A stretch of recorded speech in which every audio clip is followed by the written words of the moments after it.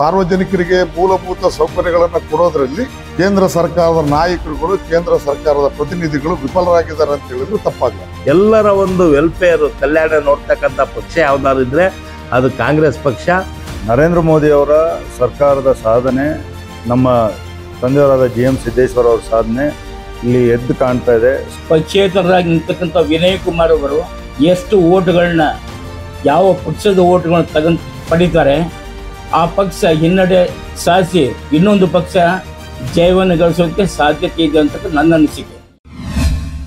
ಇವತ್ತು ದಾವಣಗೆರೆ ಲೋಕಸಭಾ ಕ್ಷೇತ್ರದಲ್ಲಿ ಎರಡು ಪ್ರಬಲವಾದ ಪಾರ್ಟಿಗಳು ಚುನಾವಣೆಯ ಕಣದಲ್ಲಿ ಬಹಳ ಇಬ್ಬರು ಶ್ರೀಮಂತ ಅಭ್ಯರ್ಥಿಗಳೇ ನಮ್ಮ ನಾವು ಕಂಡ ಹಾಗೆ ಅದರಲ್ಲಿ ಏನಾಗಿದೆ ಅಂತ ಹೇಳಿದ್ರೆ ಬಿಜೆಪಿಯ ಅಭ್ಯರ್ಥಿಯನ್ನ ಕಳೆದ ಇಪ್ಪತ್ತು ವರ್ಷದಿಂದನೂ ಸಾಕಷ್ಟು ಅವರಿಗೆ ಕೊಡುಗೆಗಳನ್ನು ಕೊಟ್ಟಿದ್ದಾರೆ ಗೆಲ್ಲಿಸಿದ್ದಾರೆ ಅವರ ವಿಶ್ವಾಸಕ್ಕೆ ದ್ರೋಹ ಮಾಡದಂಗೆ ಜನ ಓಟ್ ಹಾಕಿದ್ರು.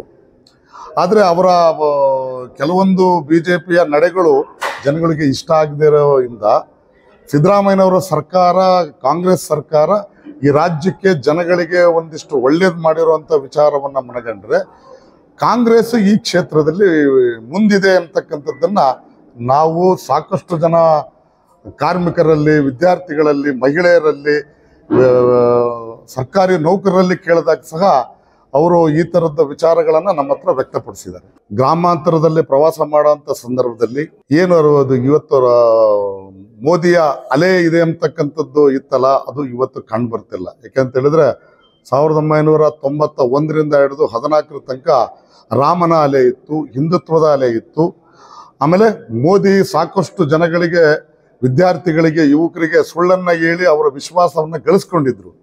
ಈ ಹತ್ತು ವರ್ಷದಲ್ಲಿ, ಆ ಯಾವುದೇ ಒಂದು ಕೆಲಸನೂ ಸಹ ಆ ಯುವಕರಿಗೂ ಸಿಕ್ಕಿಲ್ಲ, ಆ ಕಾರ್ಮಿಕರಿಗೂ ಸಿಕ್ಕಿಲ್ಲ, ವಿದ್ಯಾರ್ಥಿಗಳಿಗೂ ಸಿಕ್ಕಿಲ್ಲ, ಮಹಿಳೆಯರಿಗೂ ಸಿಕ್ಕಿಲ್ಲ. ಇವೆಲ್ಲ ಮನಗಂಡಾಗ ಅವರ ಒಂದು ಅಭಿಲಾಷೆ, ಸುಳ್ಳು ಹೇಳುವುದು ಧಾರ್ಮಿಕವಾಗಿ, ಮಾನಸಿಕವಾಗಿ ಈ ದೇವರುಗಳನ್ನು ಮುಂದಿಟ್ಕೊಂಡು, ಸಂವಿಧಾನವನ್ನು ಮುಂದಿಟ್ಕೊಂಡು ಆಚಾರ ವಿಚಾರಗಳನ್ನು ಮುಂದಿಟ್ಟುಕೊಂಡು ಮಾಡೋದ್ರಿಂದ ಜನ ಅದನ್ನ ಮನಗಂಡು ಅವರ ವಿಚಾರಗಳಿಗೆ ನಂಬುವಂಥ ಪ್ರಯತ್ನ ಈಗಿನ ಬ- ಸಂದರ್ಭದಲ್ಲಿ ಗ್ರಾಮಾಂತರದಲ್ಲಿ ಕಾಣ್ತಾ ಇಲ್ಲ. ಯಾಕೆಂತ ಹೇಳಿದ್ರೆ ಒಬ್ಬ ಎಂ ಪಿ, ಒಬ್ಬ ಕೇಂದ್ರ ಸರ್ಕಾರದ ಏನು ಆಗುವುಗಳಿದಾವೆ, ಅವರ ಆಶ್ವಾಸನೆಗಳಿದಾವೆ.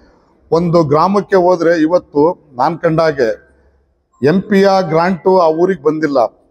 ಯಾವುದೋ ಒಂದು ಬಸ್ ಸ್ಟ್ಯಾಂಡ್ ಮಾಡಿರ್ಬೋದು, ಯಾವುದೋ ಒಂದು ಶಾಲೆಗೆ ಕೊಟ್ಟಿರ್ಬೋದು, ಏನೋ ಒಂದು ಮಾಡಿ, ಆದರೆ ಪ್ರತಿ ಸಾರ್ವಜನಿಕರಿಗೆ ಮೂಲಭೂತ ಸೌಕರ್ಯಗಳನ್ನು ಕೊಡೋದ್ರಲ್ಲಿ ಕೇಂದ್ರ ಸರ್ಕಾರದ ನಾಯಕರುಗಳು, ಕೇಂದ್ರ ಸರ್ಕಾರದ ಪ್ರತಿನಿಧಿಗಳು ವಿಫಲರಾಗಿದ್ದಾರೆ ಅಂತ ಹೇಳಿದ್ರೆ ತಪ್ಪಾಗಲ್ಲ ನಾವು ನೋಡ್ದಂಗೆ ನರೇಂದ್ರ ಮೋದಿ ಅವರ ಸರ್ಕಾರದ ಸಾಧನೆ ಮತ್ತು ನಮ್ಮ ತಂದೆಯವರಾದ ಜಿ ಎಂ ಸಿದ್ದೇಶ್ವರ ಅವರ ಸಾಧನೆ ಇಲ್ಲಿ ಎದ್ದು ಕಾಣ್ತಾ ಇದೆ. ಸ್ಮಾರ್ಟ್ ಸಿಟಿ ಯೋಜನೆ ಜಲಸಿರಿ ಯೋಜನೆ, ಸಾಫ್ಟ್ವೇರ್ ಟೆಕ್ನಾಲಜಿ ಪಾರ್ಕ್ ತಂದಿರೋದು ಮಂದ ಬುದ್ಧಿ ಆ, ಇರೋಂಥ ಅವ್ರಿಗೆ ಶಾಲೆ ಮತ್ತೆ ಟ್ರೀಟ್ಮೆಂಟ್ ಆರೋಗ್ಯ ಕೇಂದ್ರ ತಂದಿರೋದು ಸಿ ಎನ್ ಸಿ ಕೇಂದ್ರ ತಂದಿರೋದಿರ್ಬೋದು.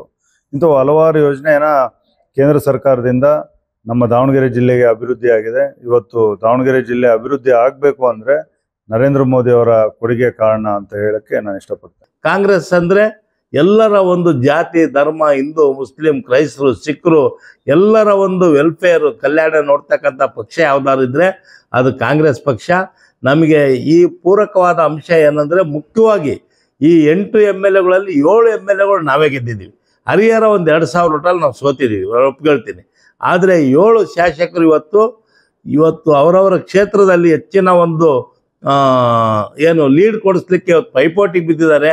ನಮ್ಮ ಕಾಂಗ್ರೆಸ್ ಪಕ್ಷ ಗೆಲ್ಲಲಿಕ್ಕೆ ನೂರಕ್ಕೆ ನೂರು ಸಾಧ್ಯ ಆಗ್ತಾ ಇದೆ. ಈ ಒಂದು ಸಂದರ್ಭದಲ್ಲಿ ಪಕ್ಷೇತರರಾಗಿ ನಿಂತಕ್ಕಂಥ ವಿನಯ್ ಕುಮಾರ್ ಅವರು ಎಷ್ಟು ಓಟ್ಗಳನ್ನ, ಯಾವ ಪಕ್ಷದ ಓಟ್ಗಳನ್ನ ತಗ ಪಡಿತಾರೆ. ಆ ಪಕ್ಷ ಹಿನ್ನಡೆ ಸಾಧಿಸಿ ಇನ್ನೊಂದು ಪಕ್ಷ ಜಯವನ್ನು ಗಳಿಸೋದಕ್ಕೆ ಸಾಧ್ಯತೆ ಇದೆ ಅಂತ ನನ್ನ ಅನಿಸಿಕೆ. ಅವರು ಗ್ರಾಮಾಂತರ ಪ್ರದೇಶದಲ್ಲಿ ಯಾವ ಯಾವ ಪಕ್ಷದ ಓಟ್ಗಳು ತಗೊಂತಾರೆ, ಆ ರೀತಿಯಲ್ಲಿ ನಮ್ಮ ಮತ್ತು ಕಾಂಗ್ರೆಸ್ ಮತ್ತು ಬಿ ಜೆ ಪಕ್ಷಗಳ ಗೆಲುವಿನ ಒಂದು ಮುನ್ಸೂಚನೆ ಕಂಡು ಬರ್ತಾ ಇದೆ. ಹಾಗಾಗಿ ಇದು ತ್ರಿಕೋಣ ಸ್ಪರ್ಧೆಯಾಗಿ ಯಾರು ಗೆಲ್ಲೋದಕ್ಕೂ ಸಾಧ್ಯ ಅಂತಕ್ಕಂಥ ಸಂದರ್ಭ ಇದೆ. ಕೊನೆಗೆ ಈ ಇಬ್ಬರ ನಡುವೆ ಮೂರನೆಗೆ ಲಾಭ ಅನ್ನೋ ರೀತಿಯಲ್ಲಿ ವಿನಯ್ ಕುಮಾರ್ ಗೆಲ್ಲುವ ಸಾಧ್ಯತೆಯೂ ಇದೆ. ಹೀಗೆ ನೋಡಿದಾಗ ನಿರ್ದಿಷ್ಟವಾಗಿ ಈ ಚುನಾವಣೆ ಮಾತ್ರ ನಿರ್ದಿಷ್ಟವಾಗಿ ಹೇಳೋದಕ್ಕೆ ಸ್ವಲ್ಪ ಕಷ್ಟವಾಗ್ತಾ ಇದೆ.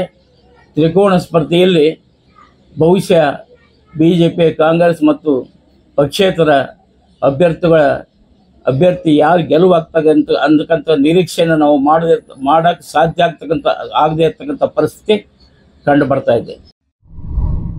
ಮತ್ತಷ್ಟು ವಿಶೇಷ ವಿಡಿಯೋಗಳನ್ನು ನೋಡಲು ಮತ್ತು ಹೊಸ ವಿಡಿಯೋಗಳ ಬಗ್ಗೆ ತಿಳಿಯಲು ಈ ದಿನ dot com YouTube channel subscribe ಮಾಡಿ ಮತ್ತು ಬೆಲ್ ಐಕಾನ್ ಕ್ಲಿಕ್ ಮಾಡಿ.